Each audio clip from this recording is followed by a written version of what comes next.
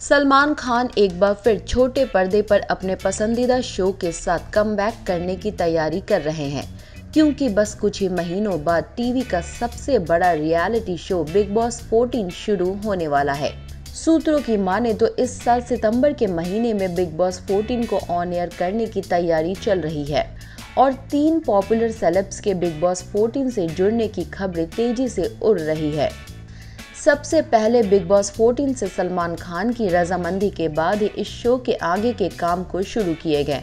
और सूत्रों की माने तो एक्टर शेखर सुमन के बेटे अध्ययन सुमन, नागिन फेम निया शर्मा और टीवी के पॉपुलर एक्टर विवियान डिसेना की बिग बॉस से जुड़ने की कंफर्मेशन मिल गई है। और ये तीनों सेलेब्स का पिछले वक्त में चर्चित विवाद भी हो चुका है। जिस कारण शो में इन सेलेब्स के प्रति दर्शकों की दिलचस्पी बन सकती है। वेल बिग बॉस तेरह अब तक का सबसे लंबा और सबसे मनोरंजक सीज़न रहा है। ऐसे में बिग बॉस 14 को लेकर मेकर्स और दर्शकों की उम्मीदें कई गुना बढ़ गए हैं। कोरोना वायरस के कारण लंबे समय से चल रहे लॉकडाउन में भी टीवी का सबसे बड़ा रियलिटी शो बिग बॉस की तैयारियाँ नहीं रुकी है। और अब खबरों के मुताबिक बिग बॉस 14 पर काम ज़ोर शोर से शुरू हो चुका है।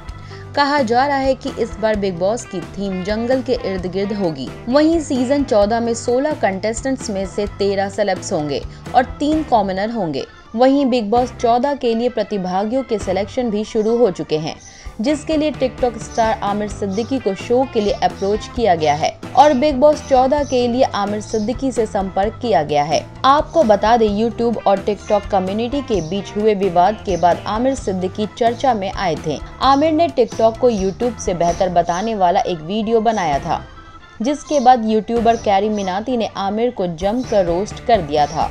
विवाद बढ़ते देख टिकटॉक ने आमिर का अकाउंट सस्पेंड कर दिया था।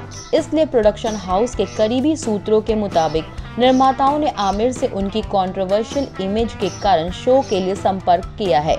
हालाँकि आमिर की एंट्री को लेकर अभी तक कोई ऑफिशियल कंफर्मेशन नहीं मिली है।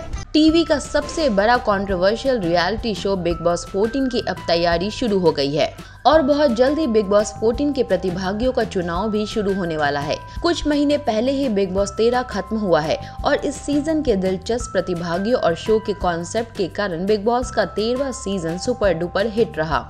वहीं बिग बॉस 13 के खत्म होने के बाद भी इस सीज़न के कंटेस्टेंट्स को लेकर अब भी फैंस में क्रेज बना हुआ है और सभी प्रतिभागी सोशल मीडिया पर ट्रेंड में रहते हैं। और खबरों की माने तो बिग बॉस 14 में इस बार कॉमनर्स के लिए भी जगह बनाई गई है और कॉमनर्स के चुनाव के लिए अगले महीने मई से ऑडिशन शुरू किए जाएँगे। वो भी वीडियो कॉल के ज़रिए। मिस्टर खबरी के ऑफिशियल इंस्टाग्राम अकाउंट से इस न्यूज़ को शेयर किया गया है, जिसके मुताबिक बिग बॉस 14 के घर को जंगल थीम के तहत डिज़ाइन किया जाएगा। साथ ही एक म्यूज़ियम का भी रूप दिया जाएगा और तीन से चार एक्साइटिंग कॉमनर्स के सिलेक्शन के बाद सेलिब्रिटीज को अप्रोच किया जाएगा।